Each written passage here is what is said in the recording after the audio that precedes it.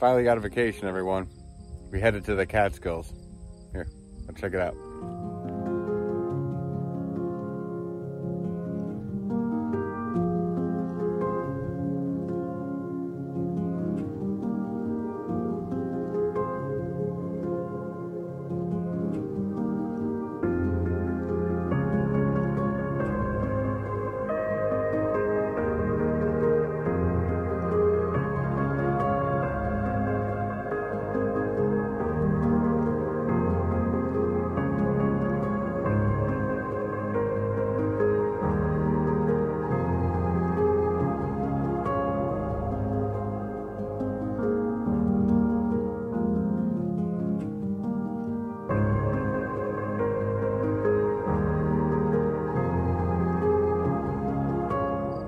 They even have a basketball hoop here.